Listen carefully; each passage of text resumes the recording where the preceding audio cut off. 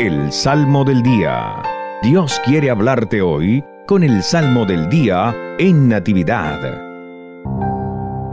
Miércoles 9 de febrero.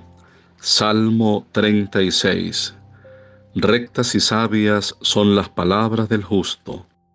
Rectas y sabias son las palabras del justo.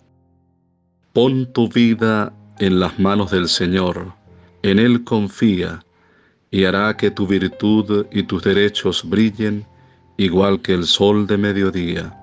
Rectas y sabias son las palabras del justo.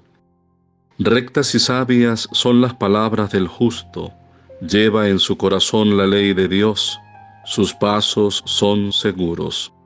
Rectas y sabias son las palabras del justo.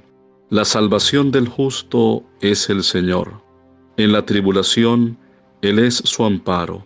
A quien en Él confía, Dios lo salva de los hombres malvados. Rectas y sabias son las palabras del justo.